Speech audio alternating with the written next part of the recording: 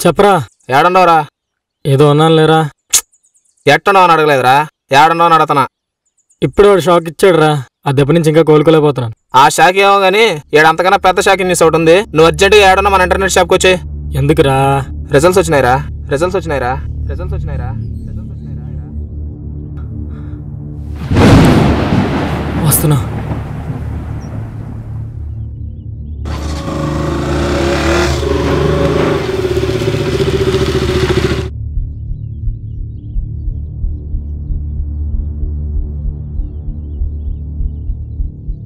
ఏమైందిరా?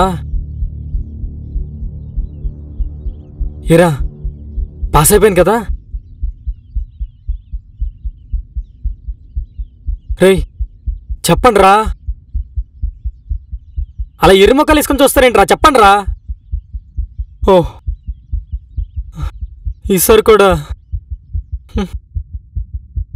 నీ ఎనిమిది సబ్జెక్ట్స్ అట్నే ఉండిపోయినాయిరా.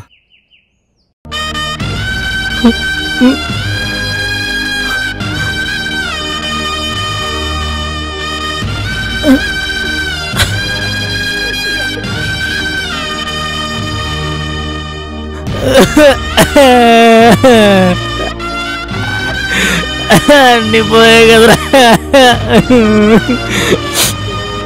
నా పరిస్థితి ఎలా ఉంటే వీళ్ళేమైందో? ఇరా నీ పరిస్థితి ఏంటి? మా మరీ నీ అంత డిజాస్టర్ కాదు కానీ బాక్స్ ఆఫీస్ కూడా మా ఒకటి రెండు బాల్తో కొట్టినాయి. ఇంత బాధలు ఎలా రా దొబ్బి తింటున్నావు? అది మర్చిపోవడానికే తింటున్నా. ఛీ! ఈ రిజల్ట్ ఇంట్లో రిలీజ్ చేస్తే రివ్యూ ఏ రేంజ్లో ఉంటుందో?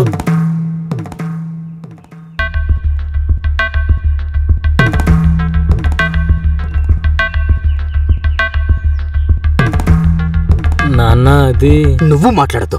నువ్వు నాతో మాట్లాడద్దు. నువ్వు బీటెక్ జాయిన్ అయ్యి ఎన్నేళ్ళైందో తెలుసా? ఎనిమిదేళ్ళైంది.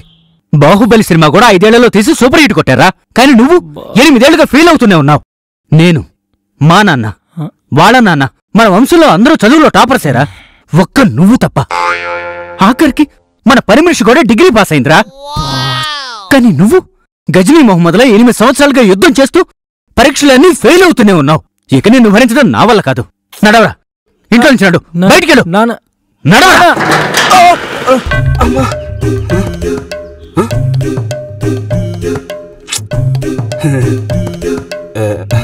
ఇట్స్ న్యూ ఫ్యాషన్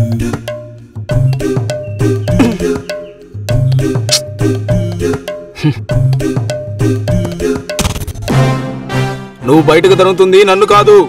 నీకు తలకొరువు పెట్టే కొడుకుని. నేను బయట అందరితో హాయిగా ఉంటా. కానీ నువ్వే బయట తలెత్తుకోలేక ఇంట్లో ఒంటరిగా ఉంటావు. చెప్తే కొడతా నా కొడుకు బయట పోతాం. ఇక్కడ ఉంటావా ఏందా? ఏంద్రా పరిస్థితి? గెంటేశారు. మరి ఇంకా ఏడా ఉండదా నా కొబ్బరి చిప్పు లోపలే ఉంది. వచ్చింది రావు ఏ చిప్ప నా చిప్ప నా చిప్ప ఏ చిప్ప. నడు పోదాం. తిండి లేకపోయినా చెప్పుంటుంది ఆ చిప్ప తింటూ ఇంకో చిప్ప పట్టుకుని అడక తినరా